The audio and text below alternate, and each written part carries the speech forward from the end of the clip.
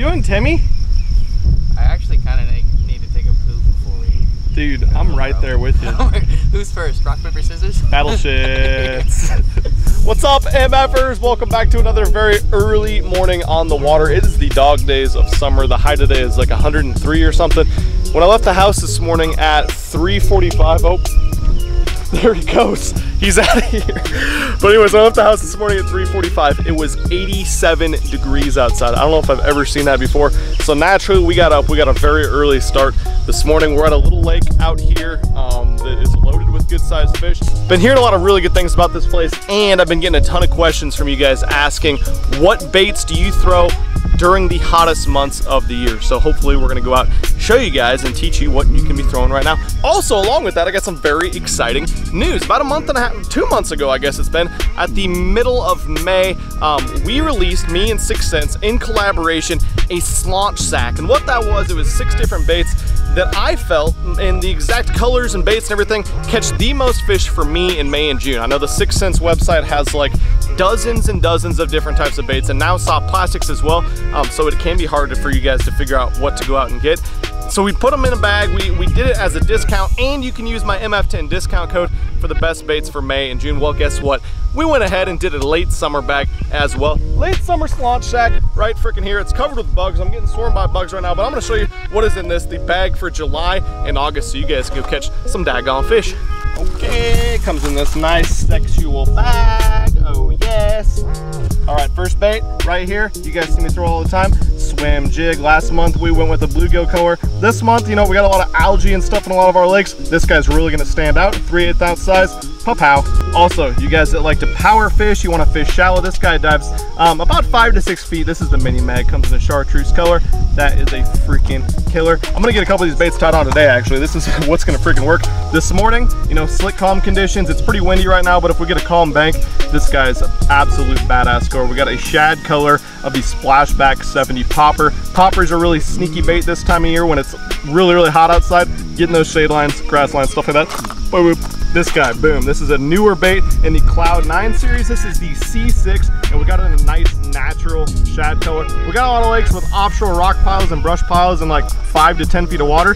This guy's an absolute freaking killer. Tighter wobble than the, uh, the Mini Mag crankbait and uh, smaller size. Really, really good bait fish imitator. Of course, you gotta throw a, a dragon jig of some type in here. It's tough to see right now because, you know, the sun hasn't come up yet, but this is a green pumpkin black and blue combination skirt, half ounce size of the hybrid jig. It's called Dark Water Craw. This is an absolute freaking killer. I'm tying this guy on right now. I'm gonna fish it all different types of cover today.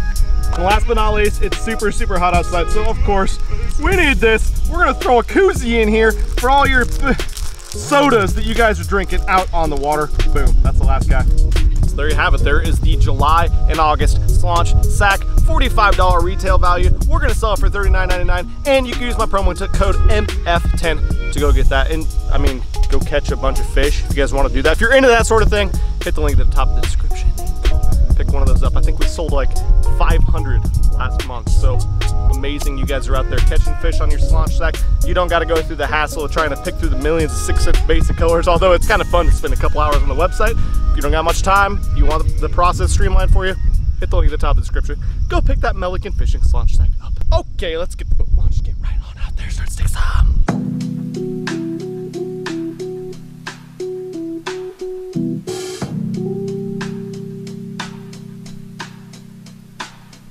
Got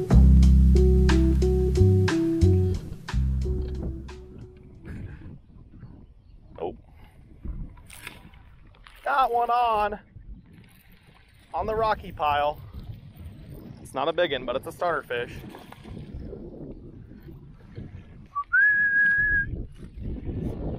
Oh man, 10 inch worming. That little shit. Not the caliber we're after, but.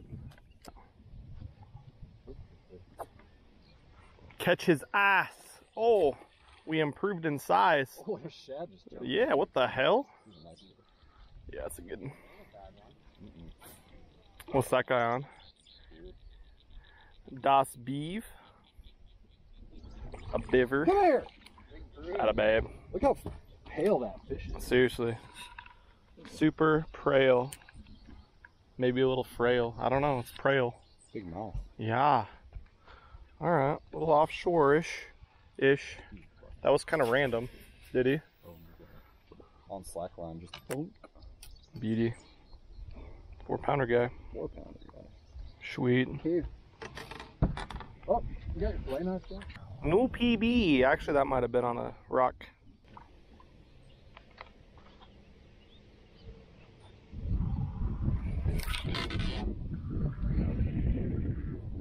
He's on it still. There we go. Jesus. Seemed like he was bigger for a second. Freaking broke his face off, tearing him out of there. He might die. Jesus. Sorry, dude. The old worm bite. First time using a worm. My line's probably destroyed. But we're just gonna risk it and break off an actual big one.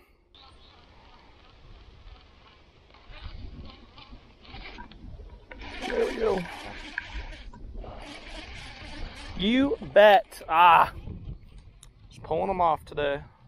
Two in a row. It's good though. Done some scanning. Found some offshore rock. Tied this guy on out of my slaunches sack. Kerplow. Let's get a big one. That was a baby one.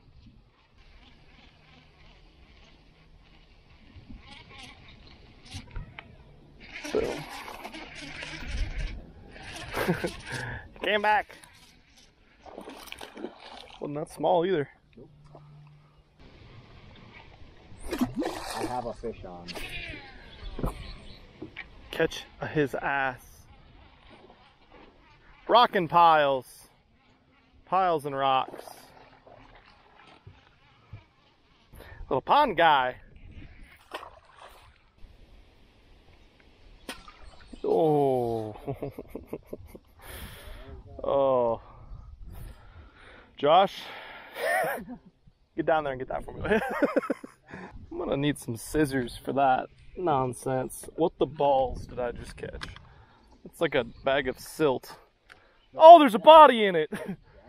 It is a jacket. Oh, that was yours. It blew out, Josh.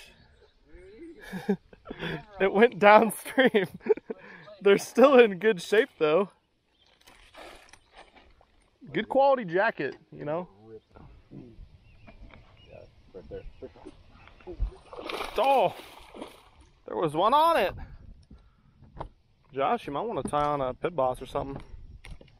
I heard they're working.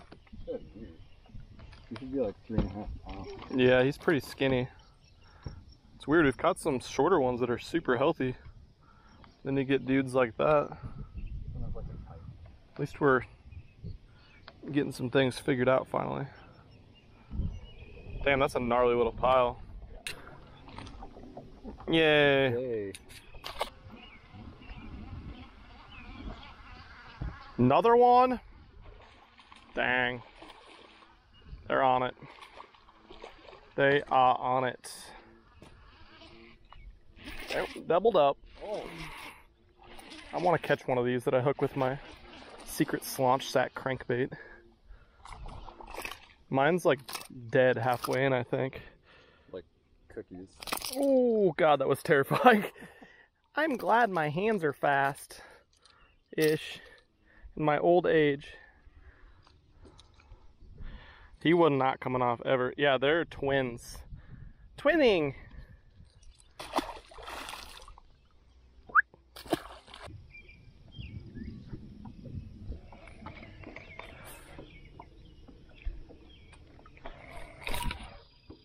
There it is.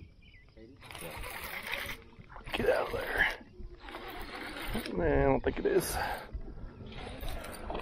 It's bigger. Tis in fact large.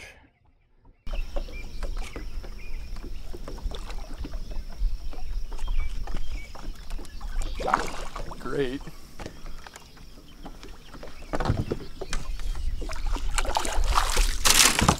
Come here, bud! Just waking up the, the universe out here this morning.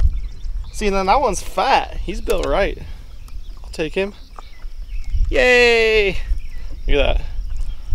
Worming. Offshore worming. Makes my heart warm. Worm. Warm? Thanks. Finally found a better one. I guess Brian caught a better one too. But that doesn't count. Alright, let's get this stupid thing back in the water. Thanks for playing, bud! Okay, we've been fishing for a couple hours now and we're finally starting to get dialed in a little bit. We tried some different stuff this morning, tried some top water, fished off some deeper points. But it wasn't until we started scanning around a little bit and on the lake contour map actually that's online, there's like these little rock humps and they're not like giant rock piles. They're humps that are probably like 10 feet across that kind of come up and there's just rock on like one little spot of them.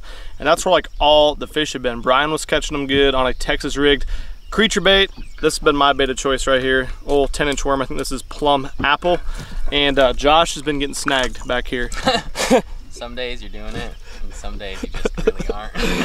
But uh, yeah, things are starting to pick up. We've definitely had a, a increased activity level as the day's gone on. It's 8.50 in the morning.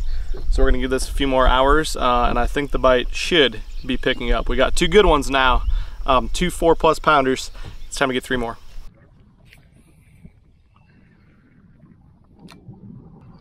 Gillikin, so do I have one. Ooh. Good God.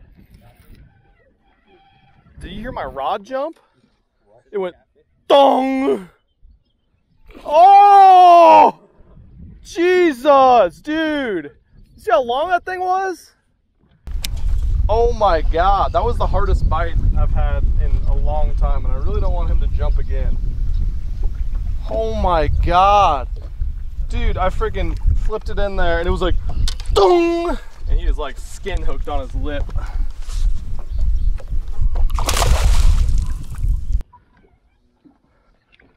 Ugh. I knew that would happen. He was just barely hooked. He was like 22 inches. Yeah, that was a big one. That was big. We still and saw some brush on the Panoptix. At least we saw him. If he would have run off like that and I not seen him, I'd have thought it was a 19 pounder minimum. Whew! I got the heart racing. Let's do that a few thousand more times. There's one. Get that hooked, of course.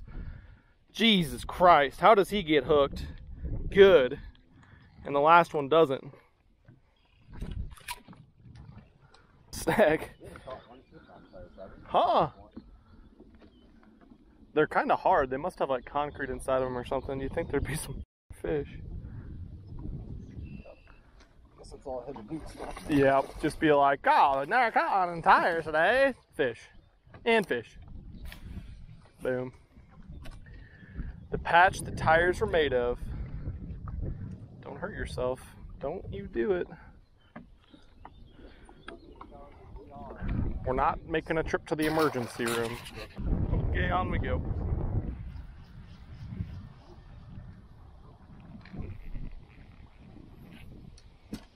Just kidding. In? Oh! Oh! It grew!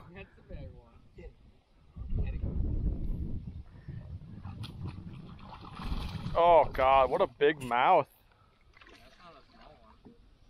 It's definitely a largemouth. Wow, look how long that fish is. That's a beaut. Josh just caught the uh, biggest one we've boated so far today. I'm guessing, yeah, 5.1, 5.2. 2.1, I think you're the closest. 225, 445 actually. Kilograms? Surprising. Not a very heavy fish. No. It's got a giant, Giant, head. giant head. You bet. Biggest fish of the day. Going back, pow and stuff. Really thought she was gonna weigh more. But still four and a half. Papow, Brian. Papow. I'm gonna go back around. Brent Chapman switch from Gill. Ah! That one felt better. I don't think he's on either.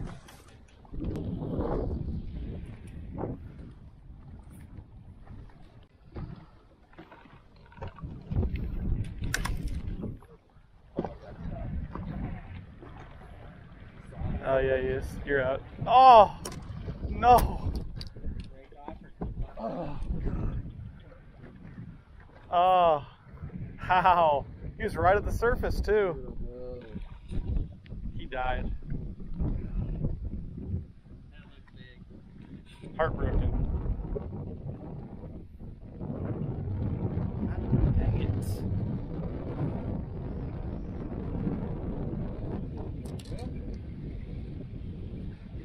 Fishing and stuff. Worms!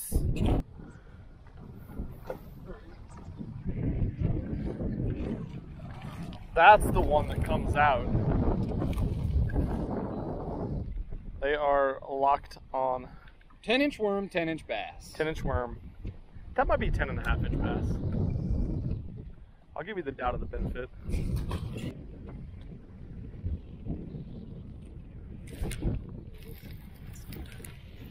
It's the baby. We caught him twice earlier.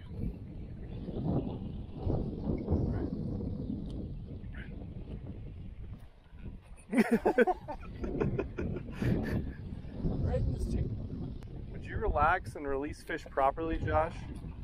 You don't need to hump every fish before you throw it back, you know.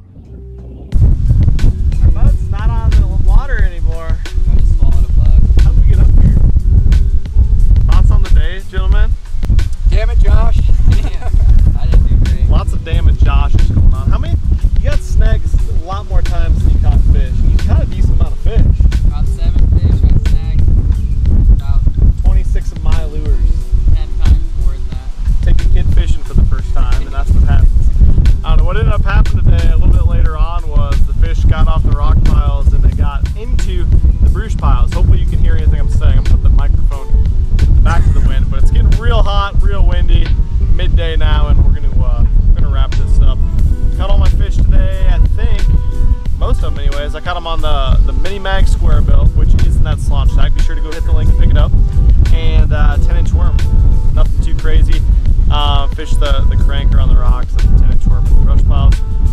Good stuff. Scan around, find that stuff. It seems like in July, late summer, they get more off of like points and structure and stuff like that. And the oxygen levels are getting lower and lower. They're starting to get up into like six to eight to 10 feet in those bruise piles. And that's what we did. Anyways, thanks so much for